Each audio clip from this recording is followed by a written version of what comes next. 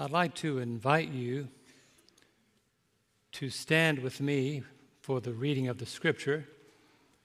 Just a reset. Let's just stand together. And the scripture reading will be on the screen. If you're joining us, it's online.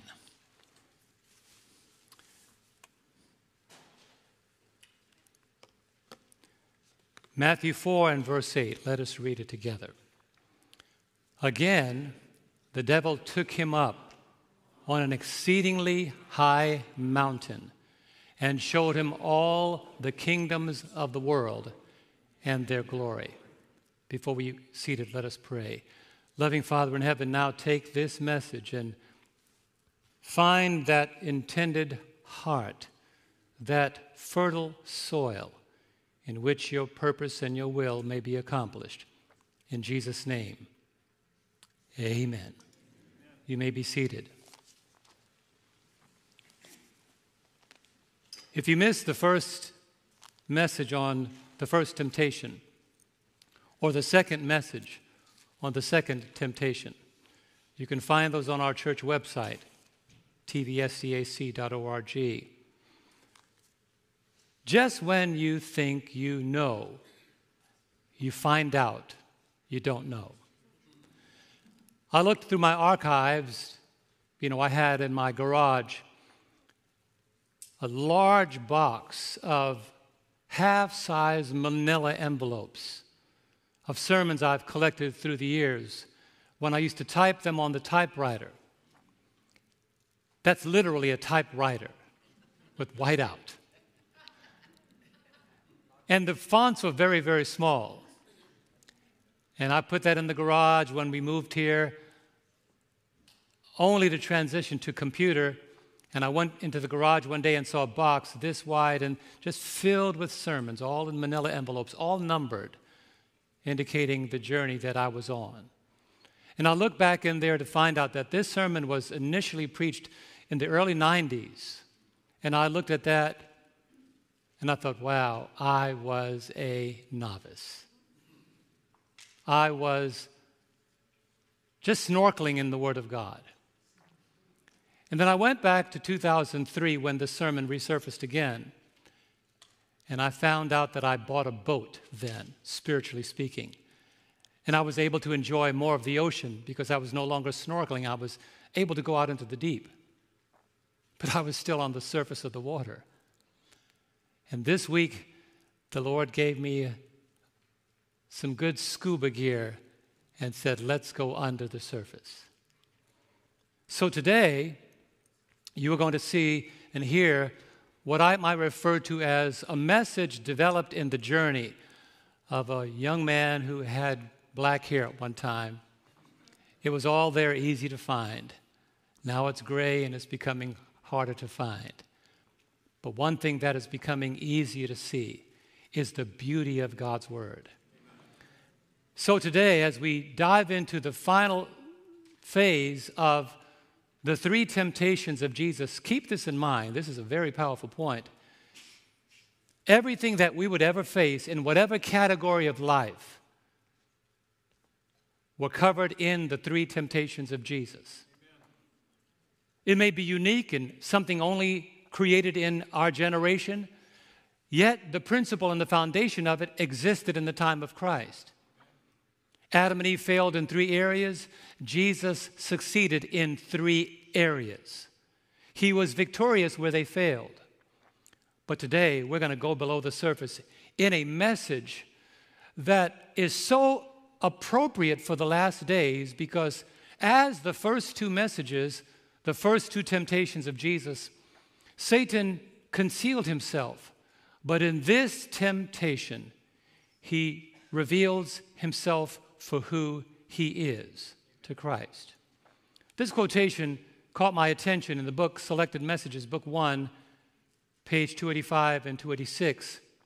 We are told the first two great temptations, in the first two great temptations, Satan had not revealed his true purposes or his character, meaning he hid his true purposes, he hid his true character. He claimed to be an exalted messenger from the courts of heaven, but he now throws off his disguise. Brethren, we are living in the hour where Satan has taken off his disguise. This is the age of intentional sin. And what's startling and frightening about it is the devil is not even trying to hide his intentions anymore. He shows himself on television. He reveals his true identity in movies, on the internet, whether whatever the website you are that you go to, whatever the social media platform that you're on, you have literally got to have your eyes sanctified to not allow the devil revealing himself to affect your mind and your walk with God. Even the television commercials. You can be watching a very innocuous family show, and in the commercial, two men are kissing. Everything about this age, nothing is hidden any longer. Satan has taken off his disguise. But don't forget this you'll find that in this temptation, he offered Jesus the dominion, the kingdoms of this world. Remember this point. When Satan offers you the dominions of this world, his intention is to establish dominion over your soul. He shows you what he's giving you, but he doesn't tell you what he's taking. And in this day and age, the world is designed to gain dominion over our souls. Never has there been a generation like this, except in the days of the antediluvian world, where their thoughts and intentions were only evil continually. We are briefly pattered out here in the country, but the moment you decide to venture on grounds that you know are not sanctified, you'll find that the devil is there. Satan is no longer hiding his intentions. But what he has designed, what he has done is he has redesigned sin. For example, in the first temptation, he designed sin to look satisfying, the lust of the flesh. In the second temptation, he manipulated sin to make it appear attractive, the lust of the eyes. But in the third temptation, the devil has packaged this temptation to appeal to those who are struggling with egotism, the pride of life. And the Bible said, the devil took him up. When I read that passage, when I read that verse, it dawned on me that God allowed Satan for a short time. This is a chilling thought. God allowed Satan for a short time to exercise power over Christ. He would have had to in order for him to pick him up and to transport him to the highest point in the mountain. And when you look at this, this is a part of the whole trajectory, the whole journey of sin. So today, whenever, whenever the devil gains access to your life, I want you to hear me today. Whenever the devil gains access even to your Christian life, he never gains access without asking Jesus for permission to sift you. He did that to Job. If this man were without the blessings that you have given to him, I know that he would curse you to your face and die. Give me access to him. And the Lord Jesus, in his mercy over us, he said, You could do whatever you want, just don't take his life. But no one outside of Christ understood what the, what the nature of that temptation would be. Nobody endured what Job did other than Christ. That's why later on, Jesus granted Satan access to Peter and that's why you read in Luke chapter 22, verses 31 and 32. Watch this. Before we read this, if God had not granted Satan access to Christ, Jesus could not grant Satan access to, to Peter. God granted Satan access to his son, Therefore, Jesus was able to grant Satan access to Peter. And that's why he said in Luke 22, verse 31, and the Lord said, Simon, Simon, indeed, Satan has asked for you that he may sift you as wheat. But I love this part. But I have prayed for you. Can you say amen? When you're going through your temptation, Jesus is praying for you. But let me make a point here that I, you may miss. Let me read the rest of the scripture and go back to the point. I have prayed for you that your faith should not fail. And when you have returned, or as the King James Version says, and when you are converted, strengthen your brethren. Not only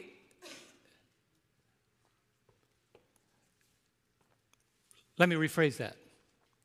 God granted Satan access to Christ so that he could see that there was nothing in Christ that Satan could gain access to. Jesus granted Satan access to Peter so that Peter could see that there was something in his life that Satan could gain access to. What am I saying? Whenever you are under a temptation, it may be allowed by God so that you can see the thing in your life that has allowed Satan access to you. So, not all temptations are points where the devil just breaks through and comes in without God's permission. No temptation has overtaken us but such as is common to man. In every temptation that God allows to come your way, two things happen. He measures it and He's with you in it. Come on, say amen. But also, He makes a way of escape that you may be able to bear it. There is no temptation you, that you face that there's not a way out.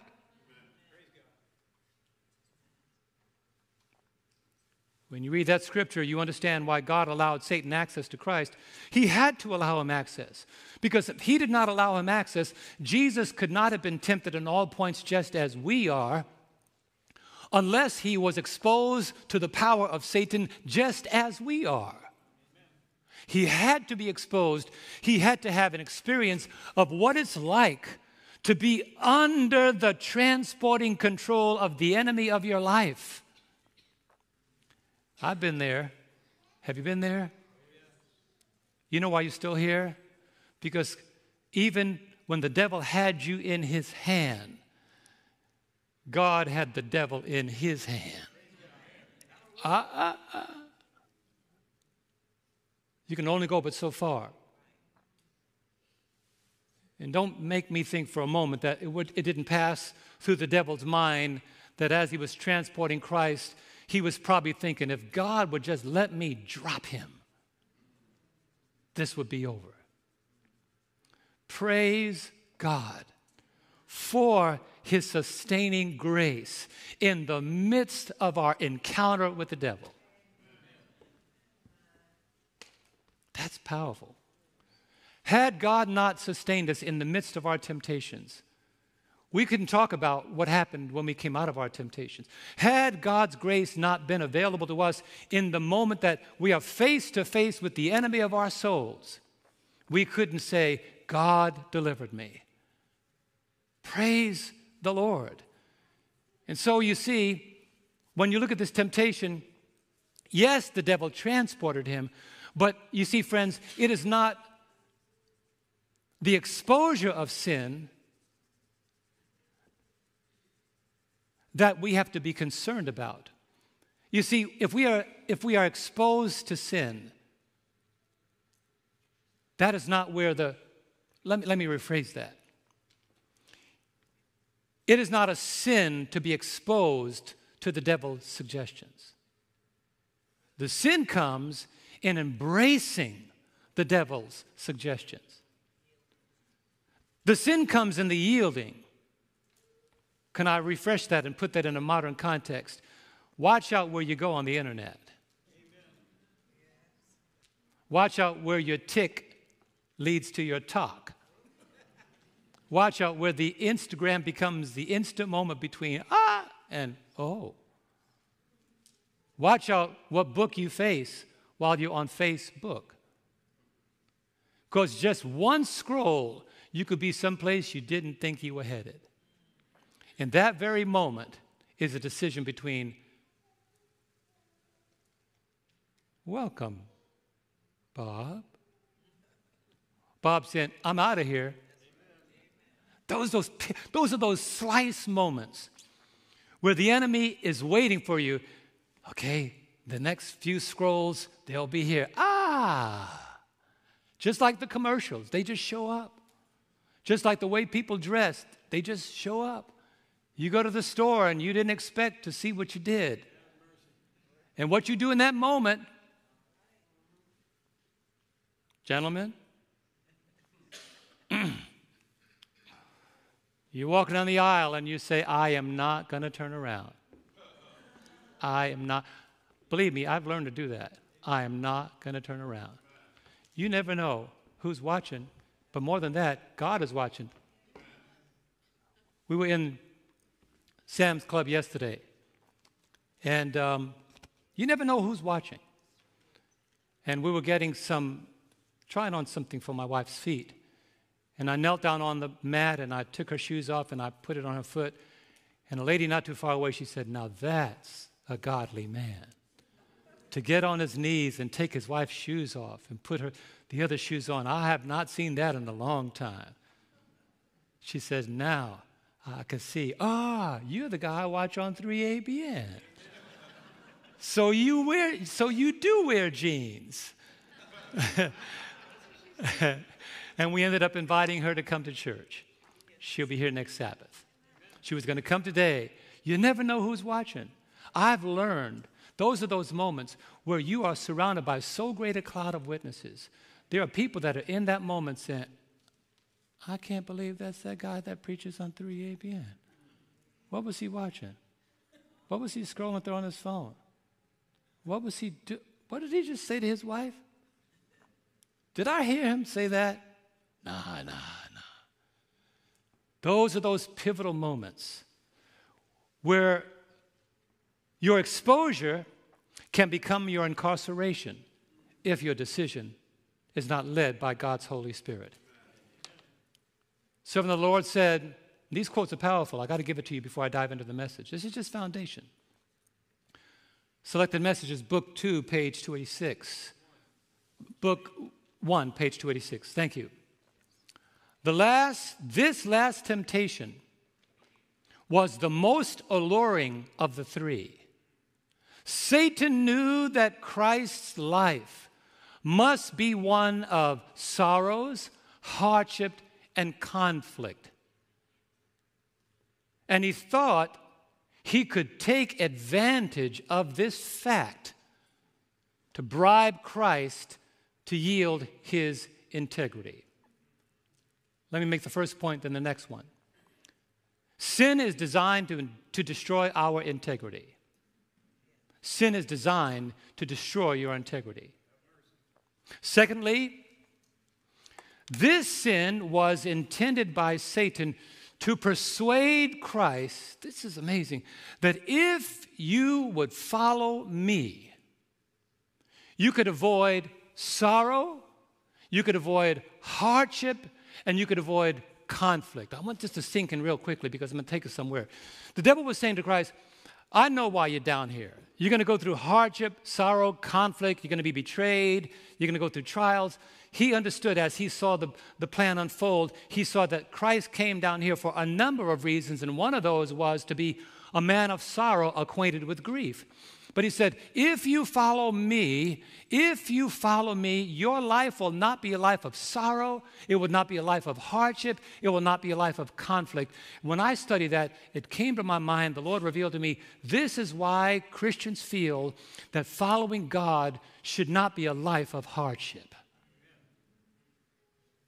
I've heard Christians say, they ask me questions why do bad things happen to good people? As though giving our lives to Christ removes us from sorrow, hardship, and conflict. No, matter of fact, friends, when you give your life to Christ, it invites sorrow, hardship, and conflict. You are no longer in the stadium, you're on the field. You have an entire host of darkness against you. You ought to know that just like a football player, you're going to get hit. As you try to get towards your goal, the devil's going to hit you hard. He may knock you down, but get up in Jesus. But don't ever think that somehow becoming a Christian is the reason why hardship, conflict, and suffering is over. No, it just began. Not only did it just begin, the struggle against sin just began because you finally came to your understanding of what sin is. Before you give your life to Christ, sin is an easy thing. That's why the Paul said, I had not known sin except by the law. When he gave his life to Christ, he said, when the law came alive, sin revived and I died. Until he saw the commandments of God, he lived an easy life. And there are so many people that are living in the world, and we see them and we think, man, those wealthy folk are having it easy. If I only had money like them, my life would be as easy as theirs. Don't fool yourself. That's called temporary success. God has designed something better for us than temporary pleasure, and that is eternal joy.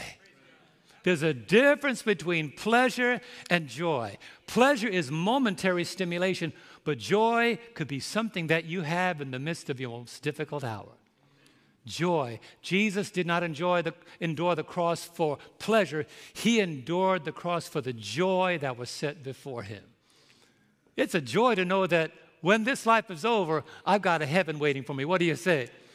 When I come out in the first resurrection, if I die before the Lord comes, which there's a 50 50 chance, if I die before the Lord comes, Curtis, I want to be in the first resurrection. Anybody else? That's the joy got this little small circle of 80 years, 90 years, 100 years, and you be so blessed like past eternity to go beyond that. But even if you had 100 more years, eternal life is so much better than just the transitory moment of this season called life, a vapor, a mist. That's why people say, God could have prevented this from happening. I can tell you the number of times that people have said, Why didn't God stop this from happening? Ask the Father in heaven, why didn't he stop Jesus from going through trials? And so people say, why me? As I got older, I'd say, why not me? If they did that to Jesus, who did nothing wrong, what makes me exempt? And then Jesus gets all distorted the devil's intention is to distort the character of God. That's why people say, God took my son. God took my mother. God took my friend. Nothing irritates me more, makes me sad when people say, God took my baby. He needed an angel, so he killed my baby. What kind of distortion is that? And we come away with the idea that, that God has to be this interventionist. And if anything bad happens, somehow it's God's fault. We ought to blame the one who's really responsible, the father of lies, the one who is the progenitor of death and suffering and sorrow and crying and pain and disappointments. Blame him. Don't blame the one who came to rescue us from it. That's why I don't like the prosperity gospel. It is a counterfeit to the true gospel. The true gospel does not omit the trials, but it says to us we can have peace in the midst of our trials. Look at John. Look at John chapter 16, verse 33. These are the words of Christ. He said, These things I have spoken to you, that in me you may have what, friends? Peace. Why? In the world you might have tribulation. You will have tribulation. It's going to come. I don't care how it's going to come. Financial tribulation, relational tribulation, social tribulation, family tribulation, educational tribulation, whatever it comes in, whatever form, you will have tribulation. Don't fool yourself. But notice what he says. But, come on, say that.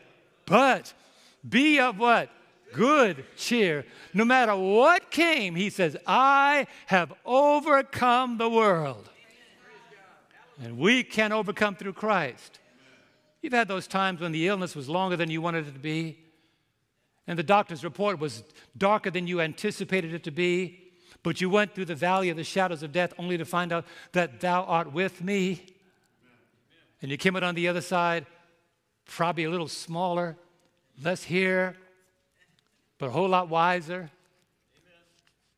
And you realize that even on your best days, I read the story about a man who had um, $89 million, $89 million, had cars galore, like 15 massively beautiful cars. You know the cars that we could never buy, the, million dollar, the, the, Lamborghini and the in the in the in the Bugattis, and it just had a whole garage. I remember reading the story of Reggie Reggie Jackson, the famous baseball player, had a whole garage of cars up in the hills of Oakland, California, and a fire hit, destroyed most of his cars in the garage.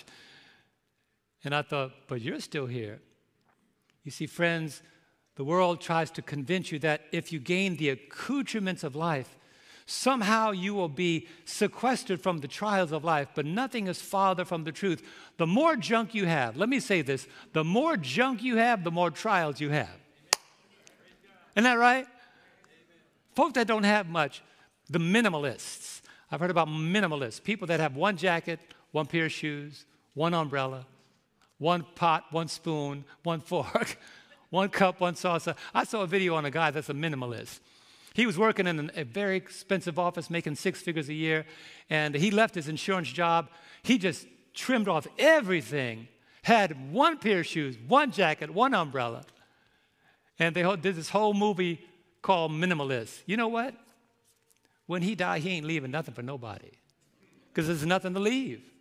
Nobody has to sort through his one jacket, his one pair of shoes. How much junk do we have? Come on, say amen. We got stuff. And the devil tries to get us linked to that stuff. And what we define tribulation mean is we can't find our car keys. That's not a tribulation. That's just your memory going bad. That's not a tribulation. That's just life. When you can't, you can look at somebody all day long and you can't remember their name. That's not a tribulation. That's called you need Prevagen. That's what that. That's life. It happens to us all. We all get to that place where, you know how you're getting old. This is this. I'm, I'm in the category now, so I could say this. When it takes three people to remember one person's name. And you know how it is when you get home, you remember their name and you rejoice. Ah, yeah, you know who that is. you get you you get home and you remember their name when they're long, long gone. Ah, yeah, good to see you again. Yeah, yeah. Well, who is that, honey? Yeah, good to see you again you know you're getting past that point where it's like, and then you get home and, and like both of you while you're pulling in the driveway, you say, his name was Curtis. and you feel happy. And you remember, well, when I see him again, I'm going to say, I didn't forget your name, I just didn't mention it. That's life. That's not tribulation. That's the cycle of life. We come in pristine, skin as tight as a drum, no wrinkles anywhere to be found, and we hit the pike and we start sliding down the other side and we notice a wrinkle, a line. Then all the ladies start spending millions on those line disappearing creams. And then when those don't work, they go to plastic surgery. Then all that stuff. Ladies, don't waste your time. You're going to look flawless in the kingdom. Come on, husband, say amen. So let your wife know she's beautiful like she is. I tell my wife, honey, you're beautiful. Am I really? Honey, you're beautiful. Why do you say that? Because you're mine. That's why. See, that's what makes life beautiful. We don't mind getting old, long as we get old together. Come on, old people say amen. Long as you got somebody to get old with. That makes all the difference. How did I get all that out of one scripture? I don't know. but you see, in this sermon, the Lord is in the midst of the of the greatest challenge of his life. And the Bible says the devil took him up to an exceedingly high mountain. What kind of mountain? An exceedingly high mountain. Some commentators said it may have been Mount Nebo, where Moses received the commandments, or where Moses looked over into the promised land. A 2,500 foot peak. But whatever it may be, this mountain peak was high enough for the devil to show the Lord all the kingdoms of this world. From the day of Christ all the way to the very end of time. Can you imagine Jesus saw Las Vegas? He saw New York City, Times Square. He saw all the opulent cities before they were even built. And the devil said, I'll give you all that. That's a frightening thing. If you saw all of that, if you saw all of that opulence, all that wealth, all that material possession, and the devil said, I will give you all that, what would your next reaction would have been? What would your next reaction be?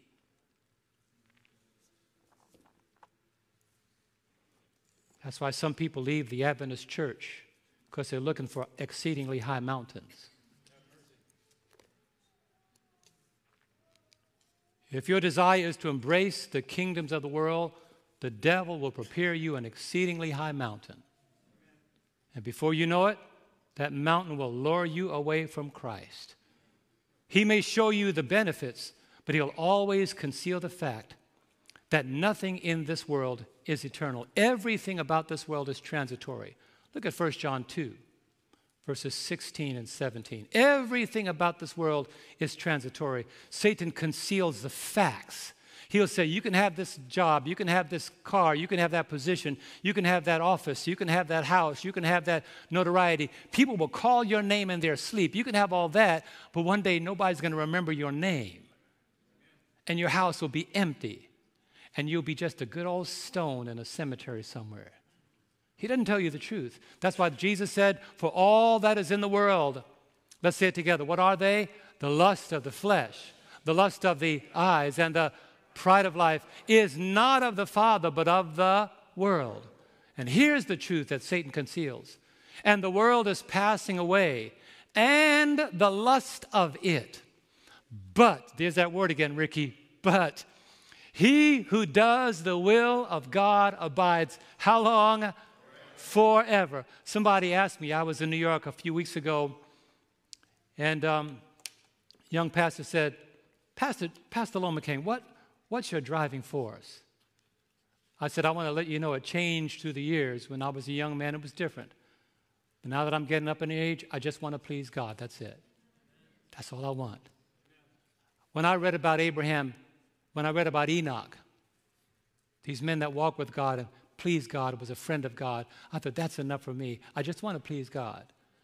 So I stopped preaching for popularity. I stopped preaching for praise and accolade. I stopped preaching for people to say, that was a great message. Praise God if it was. That's not the point.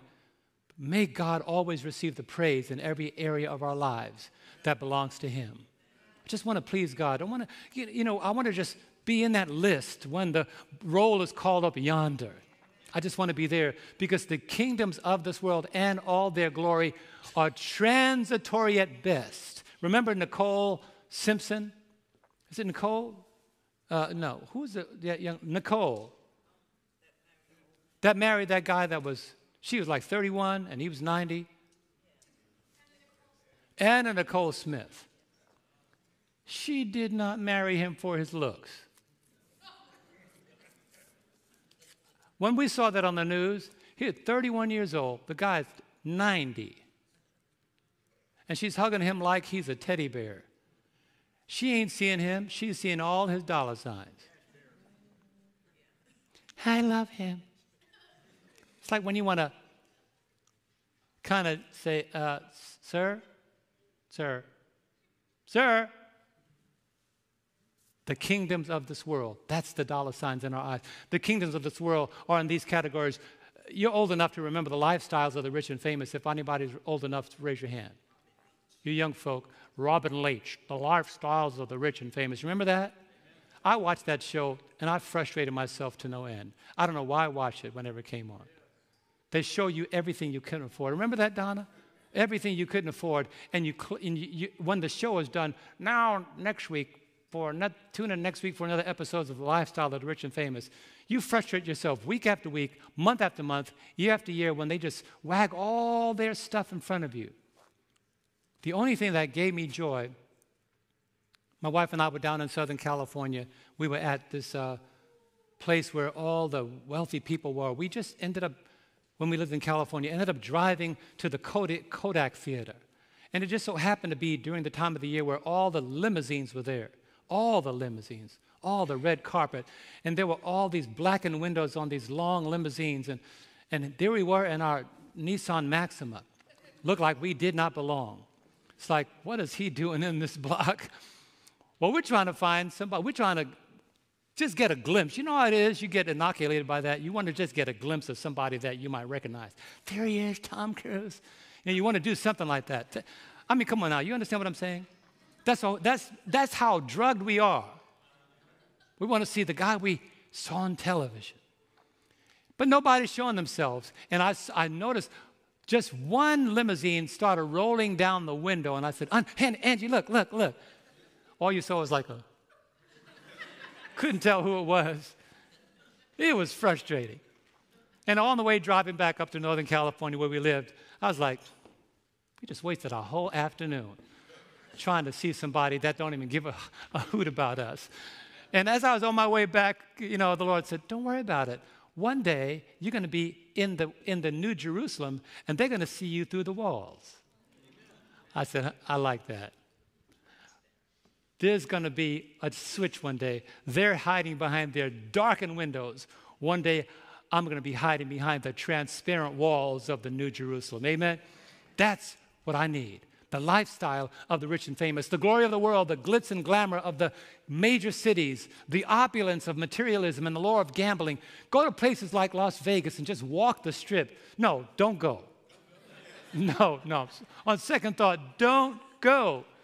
You've got to be sanctified, glorified, and blind to go to Las Vegas. Don't go if your eyes work. It's a city of sin.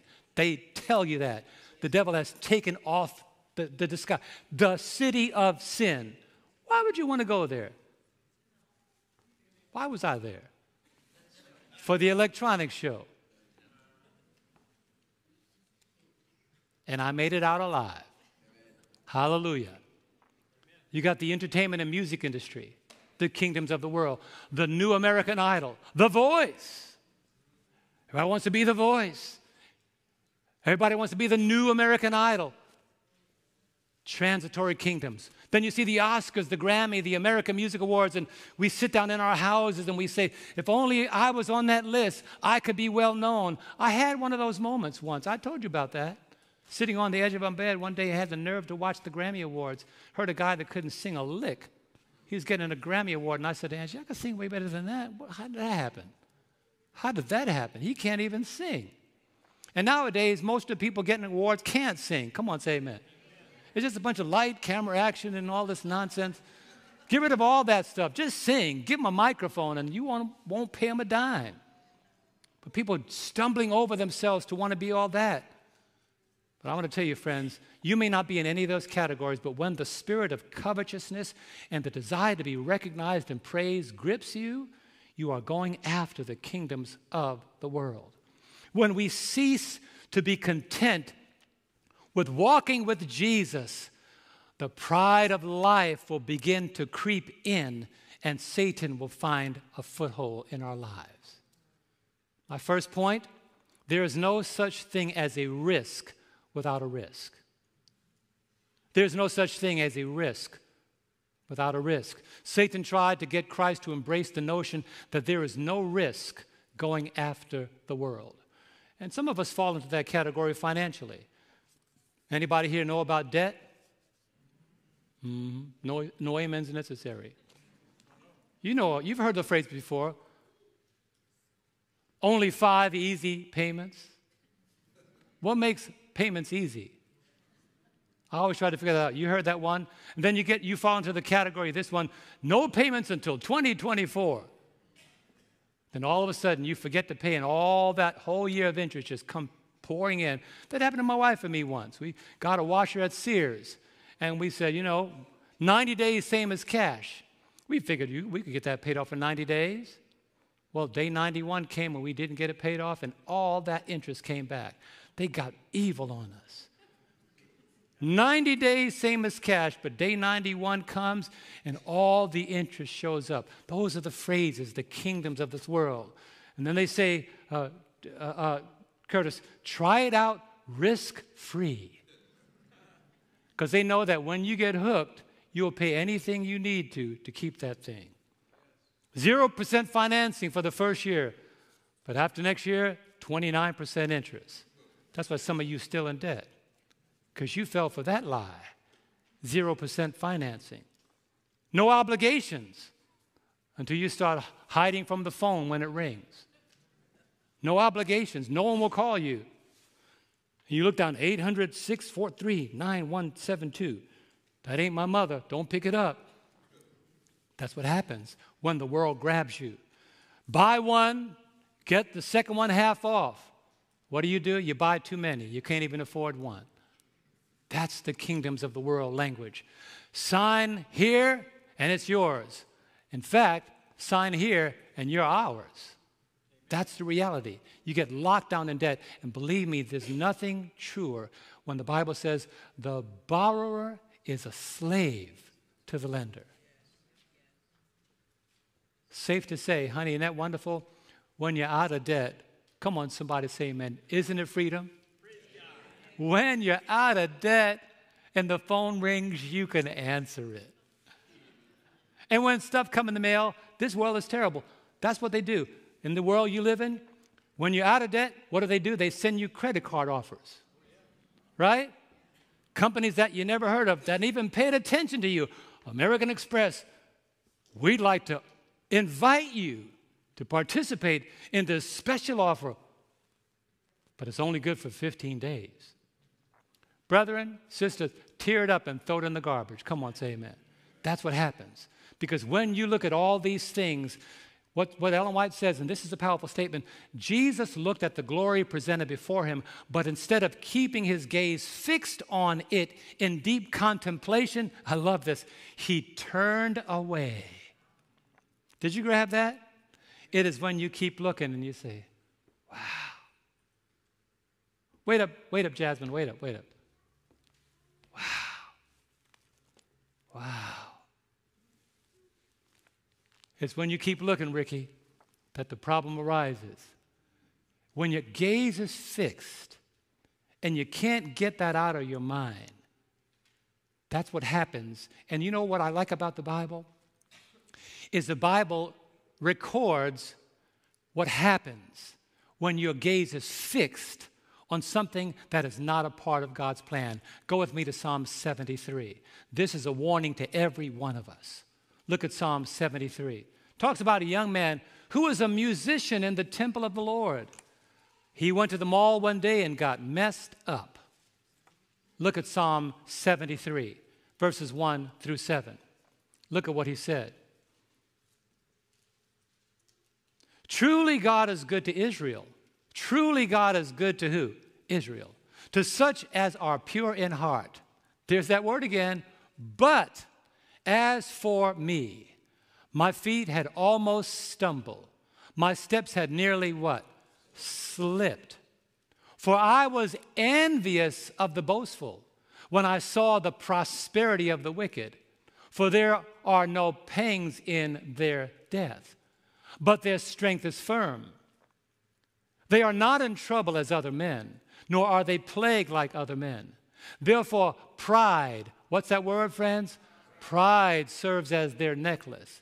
Violence covers them like a garment. Their eyes bulge with abundance.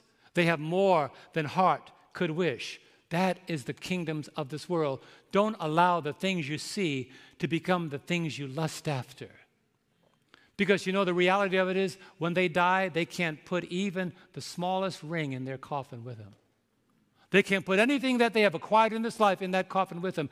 Don't be envious and boastful of those who have great possessions, because while they're boasting about it, there is a day of reckoning coming for every one of us when nothing that we have done can get us off this planet except Christ be the central focus in our lives. Which brings me to my second point. I just have two more. And here's the lesson you learn about that the longer the gaze, the greater the temptation. Say that with me. The longer the gaze, the greater the temptation, the greater the deception. Jesus knew that. He under, do you think that Jesus understood the pull of sin?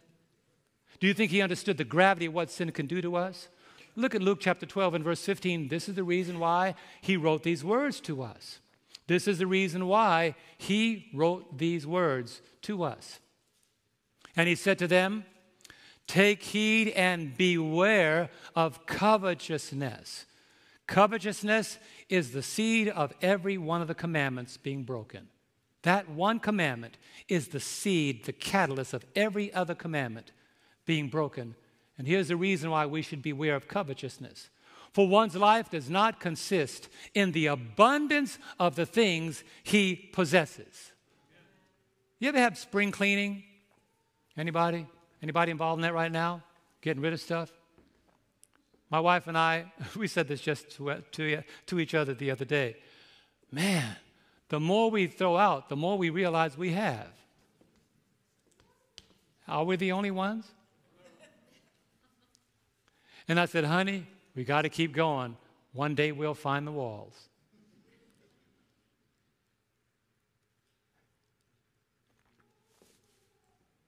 Those of you that have been married a long time, husband, watch your wife. Wife, watch your husband, because somewhere along the way, covetousness starts to creep in. And we think we need more until we realize nothing around us can make it into the kingdom. Nothing that we possess can open the doors to the kingdom for us. Don't allow your possessions to possess you, is what this statement is saying. In the Bible commentary, it was pointed out that it was as if Satan said to Christ, This is a powerful statement. You came to earn title to this world, did you not? Accept it as a gift from me. Power and honor may be yours for the taking, but in return, all Satan asked was a transfer of allegiance from the Father to himself. Anytime you fall for the enemy's suggestions, it always results in a transfer of your allegiance from your heavenly Father to the devil himself. That's what he was asking Christ for. The underlying suggestion if you serve me, the world is yours. If you serve me, nothing in the world will be withheld from you.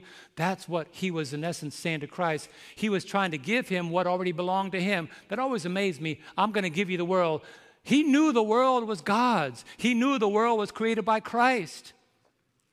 But in his humanity, he sought to take advantage of Christ's humanity because in his humanity, nothing belonged to him. In his divinity, everything belonged to him. We've got to understand when we have a divine connection with Christ, realize the divine connection with Christ means that we've got to disconnect from all of the voices of this life because God didn't come to create a comfortable kingdom down here.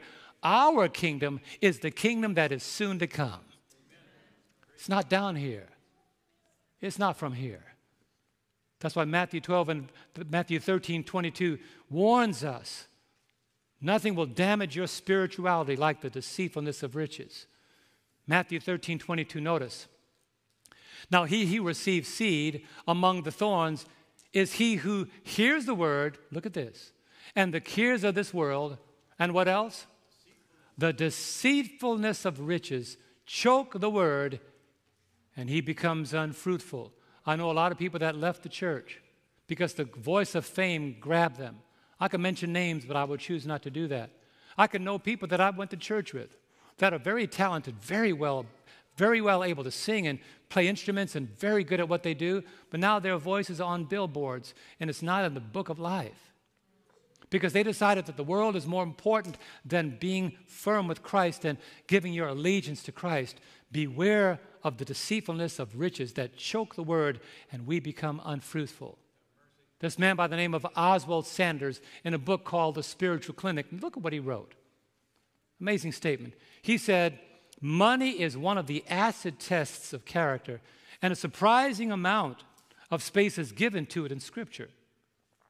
Whether a man is rich or poor, observe, this is powerful, observe his reaction to his possessions and you have a revealing index of his character.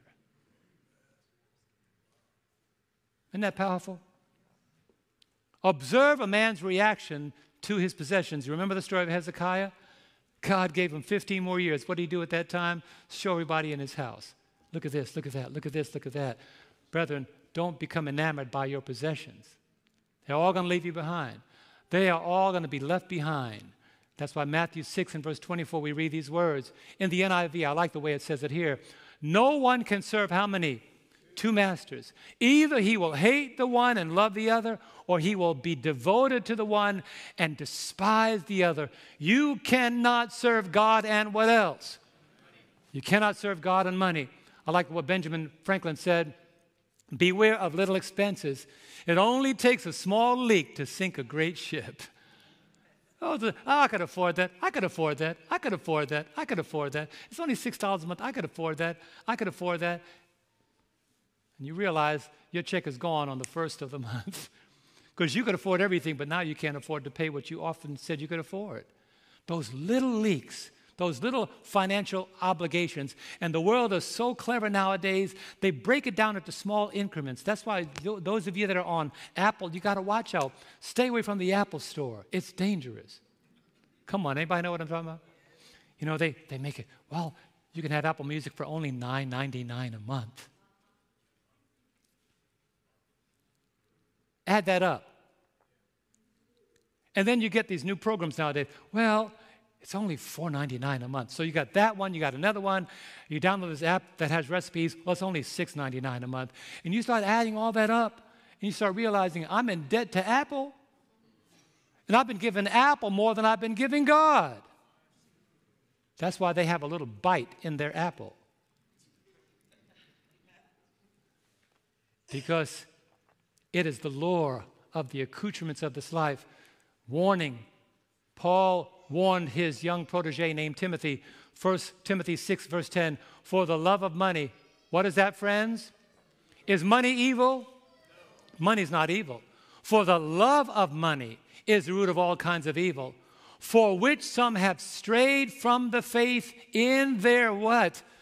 Greediness, and pierced themselves through with many sorrows. We were checking out of the store, and I saw this article as we were checking out of the store yesterday. a man who won $29 million. And in five years, he was penniless, living in a shelter. How does that happen? Won 29 million in a lottery. In a few years, he was, he was penniless and living in a shelter that he bought with that money, living in a shed that he bought with that money. How does that happen? Greediness pierced themselves through with many sorrows. So be careful. Don't serve God for money. As this English proverb said, he who serves God for money will serve the devil for better wages. Be careful. Be careful. Be careful. Now, let's go to the third point, which is powerful, and then we get to the last point, which is going to really open your eyes to something you haven't seen. The deception of the third temptation, I want you to get this. The deception of the third temptation, Donald, was in its directness. We know that it was full of deception, but this is the one temptation where the devil didn't totally tell a lie. He was open and clear and honest. He made it very clear about his intentions. He didn't try to hide it. He said, I'll give all this to you if you fall down and worship me. So the pursuit of greatness, success, and possessions, don't forget it, is always conditional. There's always a condition when you open that door. When the devil said in, in Matthew 4 verse 9, All these things I will give you, here's the condition. What's the next word? If you fall down and do what?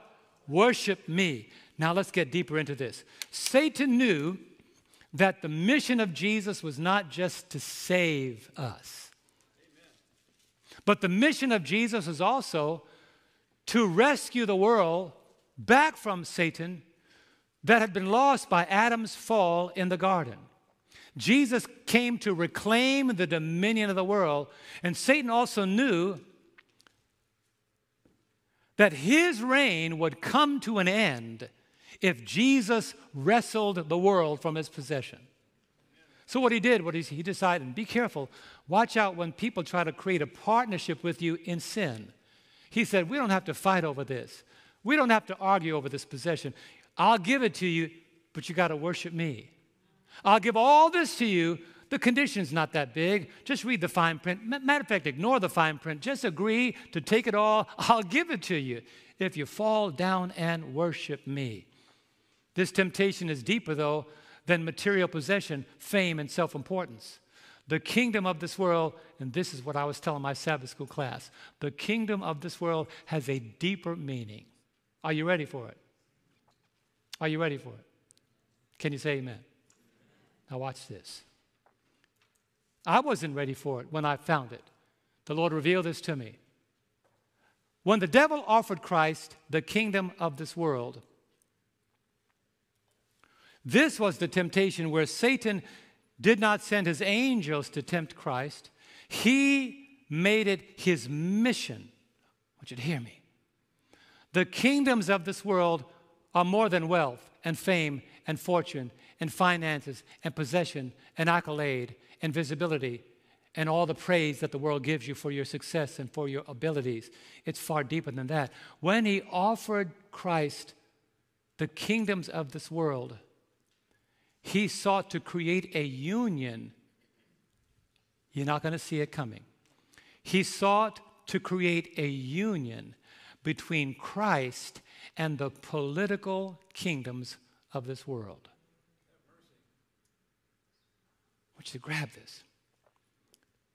Look at this. The Bible commentary takes us down that road. He sought to create a union between the political kingdoms of this world and Christ. He sought to establish divine authority over the political affairs of man. This temptation, look at this. The Bible commentary brings us out on Matthew 4, verse 9.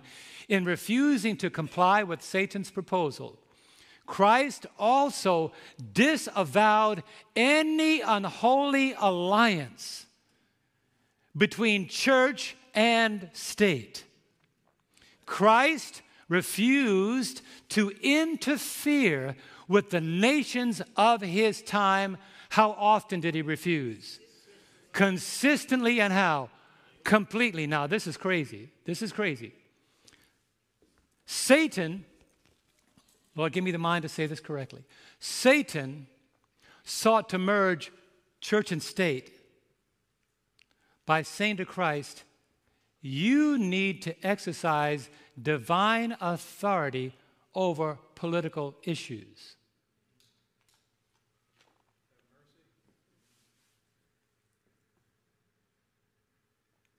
What he failed to do with Christ, he has succeeded to do with the church today. all these issues that are looking for religious, religious input, all these issues that are political, that are seeking religious support, are the very thing that the devil did, is the very thing that Satan did in the garden, is the very thing he did in the wilderness. He sought to create a union between Christ and the kingdoms of this world. But watch this what he failed to do then, what he failed to do through Christ, he is succeeding by doing that today. Today, Satan is sending his evil angels to create a merger between church and state through the influence of evil powers. Look at this. Look at this. Look at this. Remember, he offered Jesus the kingdoms, but look at what he's doing in Revelation 16, verse 13. And I saw three unclean spirits like frogs coming out of the mouth of the dragon, out of the mouth of the beast, out of the mouth of the false prophet. For they are spirits of what? Demons, performing signs, which go out to the kings of the earth and of the whole world to do what? Gather them together, to gather them to the battle of that great day of God Almighty. Let's break this down. You know, it was the alliance show you how this worked. He had succeeded to do that between the Jews and Rome, did he not? It was the alliance between the Jews, religion, and Rome, politics, that led to the rejection of Jesus. That's the first foundation. The Jews claimed to serve God, but they had a greater alliance to Rome. Furthermore, to maintain that political support of the Jews, Pilate reinforced the interests of the Jews and ended up crucifying Christ. Did you see what happened there? The Jews say, We are God's servants, but they had a greater alliance to political issues. I hope you're hearing me today. And the political leaders, seeing the support of the church, sought to maintain that connection between them and religion and decided, religious leaders, you tell us what you want us to do, and we will do it. Brethren, that is how the mark of the beast is going to be urged upon the world by a union between church and state. The church will ask for the state's support in inserting and advancing their dogmas, and the state will acquiesce to the church because it needs its support. Is it happening today? Is it happening today? Yes. It happened in Jesus' day. Look at this. They made it clear. The Jews said Pilate is more important to us than Christ. Here's what they said John 19, 15. Look at it. But they cried when they asked for, Who do you choose? But they cried out, Away with him, away with him, crucify him. Pilate said to them, Shall I crucify your king? That shows you how much they looked at him as the king. And the chief priests, that's the major leaders in their religious circles of those days, answered and said, We have no king but Caesar. Let me tell you that this, I didn't even see this coming up in this message.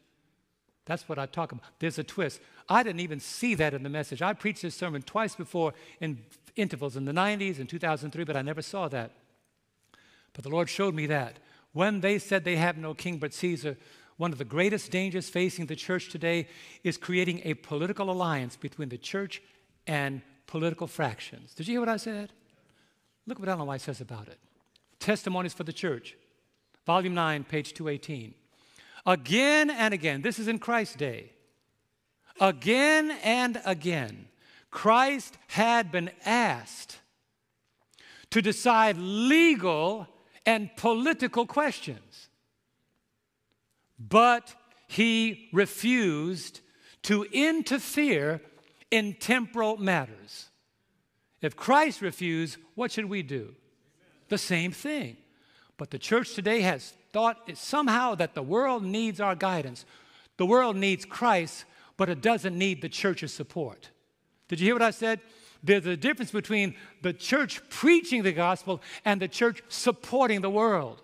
We are called to proclaim the gospel to the world, not to become proponents to support the world. Look what it goes on to say. He stood in our world as the head of a, the greater spiritual kingdom. And he came to our world to establish the kingdom of what? Righteousness. Speaking of Christ, his teachings made plain the ennobling, sanctifying principles that govern this kingdom, that is his kingdom. He showed that justice and mercy and love are the controlling powers in Jehovah's kingdom. Brethren, our alliance should be fully on the side of heaven. Leave political issues alone. We are called to be champions of eternal issues. Can I say amen? I'll say amen. Amen. That's why when Paul went down to Corinth, this is what he said, and this is what we should be saying today. When they appeal to us for political support, we should say, like Paul in 1 Corinthians 2 2, For I determined not to know anything among you except Jesus Christ and Him crucified. Why? Somebody asked me once in the store, they had the mistake to ask me this. They made the mistake, Who do you support? I said, Nobody. Who do you vote for? I don't want to vote for anybody. They said, Why not? I said, Who Calm down, John. What president ever promised to forgive me of my sin? None of them. Which leader ever said, I will supply all your need according to my riches and glory? None of them.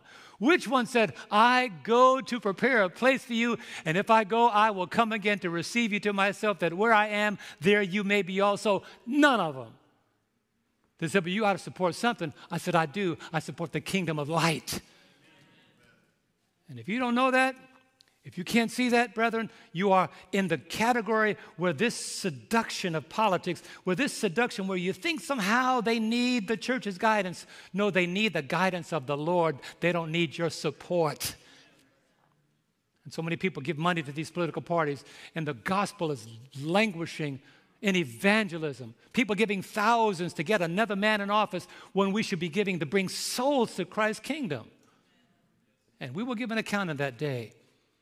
Last point what Satan could not accomplish through three temptations, Christ accomplished through one command. Come on, somebody, say amen.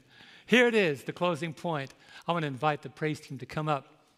By the time you get up here, I think I'll be ready. What Satan could not accomplish in three temptations, Jesus accomplished through one command. What did he say? Matthew 4:10. Then Jesus said to him, "Away with you, Satan, for it is written." Come on here, let's hold it up. For it is written.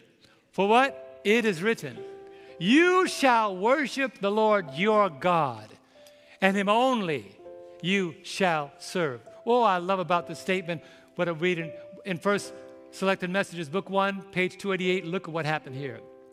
When the Lord said, Away with you, Satan, Ellen White says, the hateful presence of Satan was withdrawn. The contest was ended. With immense suffering, Christ's victory in the wilderness was as complete as the failure of Adam. Somebody ought to say amen. Adam failed completely. Christ was victorious completely. That's why the Apostle Paul wrote in 1 Corinthians 15 22, For as in Adam all die, but ended with me, even so in Christ, how many? All shall be made alive. Jesus Christ was victorious on every point where Adam failed, Jesus succeeded. And then finally, this is the part that I didn't get either, but I saw this in the closing. Verse 11 brings us out. You see, the angels that Jesus commanded in glory, they had to stand back and watch this controversy going back and forth.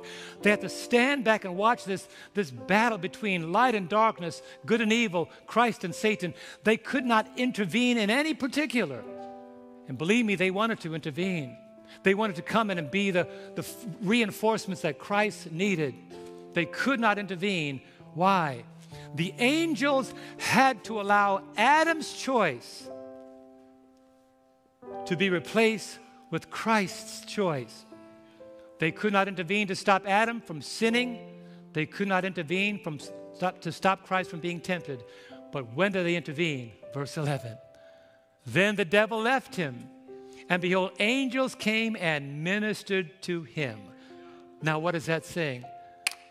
Don't let that be a final thought. Here's what it said to me When Jesus made the choice not to obey Satan, only then, Tracy, could the angels step in.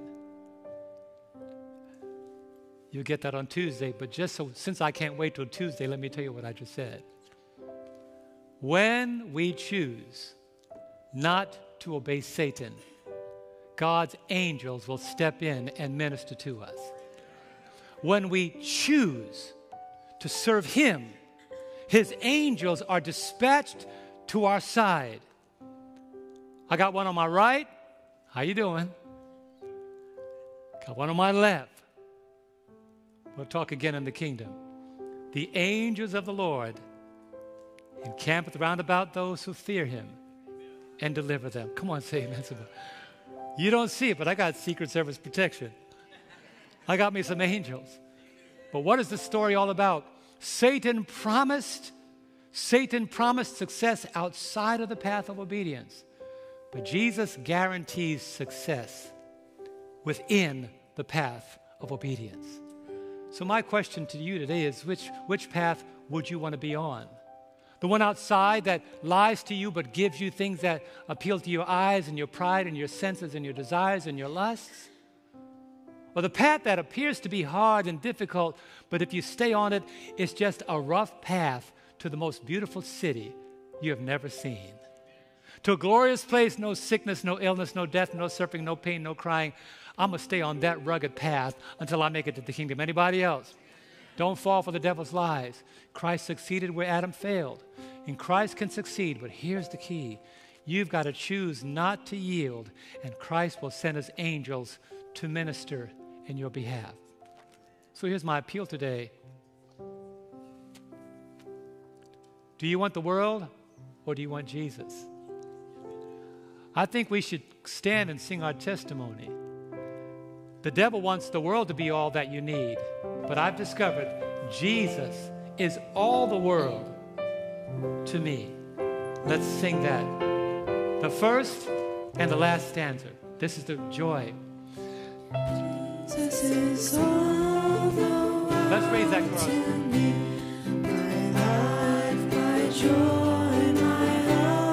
That's right. He is my strength from day to Look at that.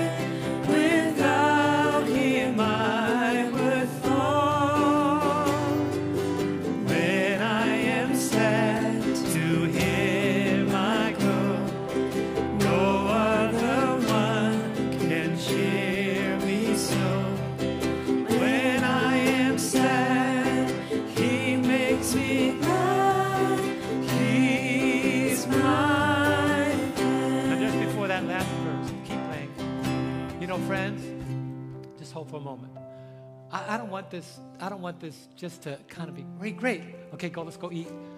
I want you to consider what was said here today. Jesus succeeded in every area that we would ever be tempted. Does that bring you good news? I don't have to face the temptation and succumb to it.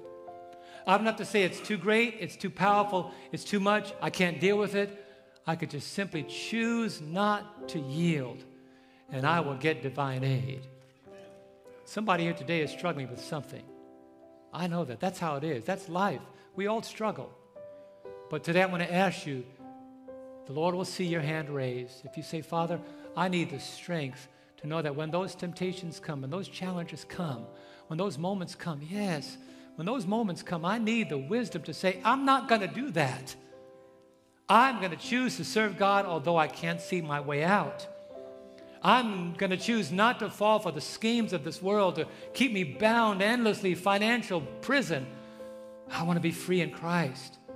I'm not going to allow the voices of this world to call me away from my allegiance, to give me a temporary throne that will end in the fires of destruction. I'm going to stay on that path. It may be rugged, but they tell me when I get through all the foliage, I'll see a kingdom I've never seen before. Today, Jesus is all the world to me. I want no better friend.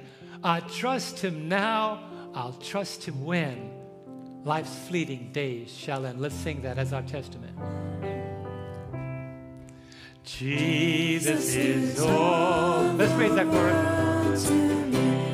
I want no better friend. I'll trust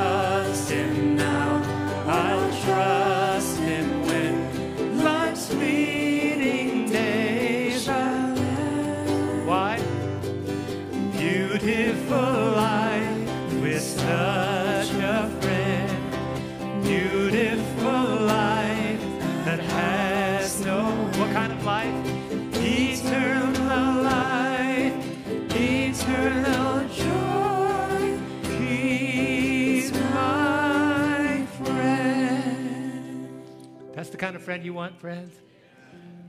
Don't let your eyes decide who that friend is.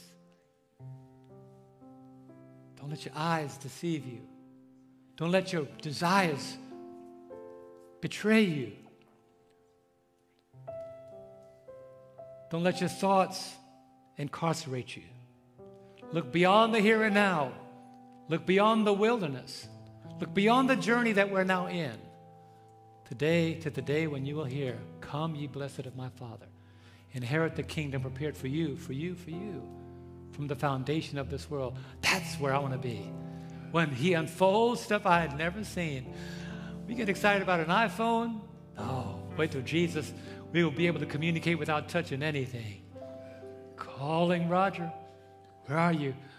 I'm spending the day with Elijah. Where are you? I'm talking to Enoch. How far away? Oh, 27 million light years, but I'll meet you this afternoon. That's the kind of stuff that messes with me.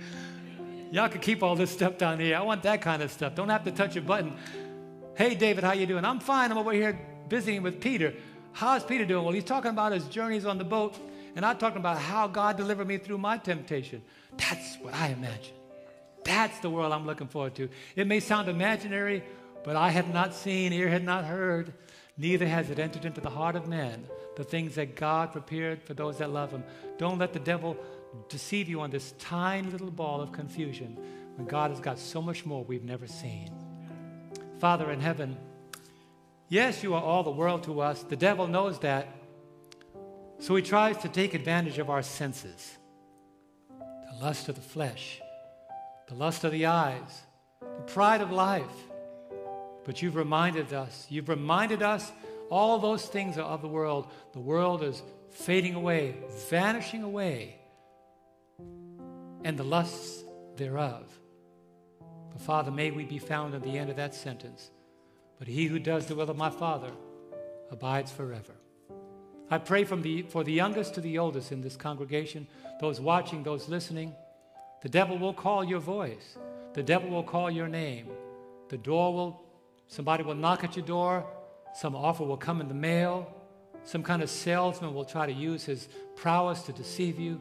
Don't fall for that voice. Don't allow your heart beat to thirst for what you see on television. Don't allow the fame of this life to deceive you into thinking it'll be different for you. It's not different for anybody. The devil lies to cause us to become his victims. But Jesus told us the truth to become his children. May we choose that road that will one day burst through the trials of this life into the beauties and the joys forevermore. I pray that that's our desire and our prayer and our focus. And may Jesus Christ be glorified in all of our decisions. In Christ's name we pray. Amen.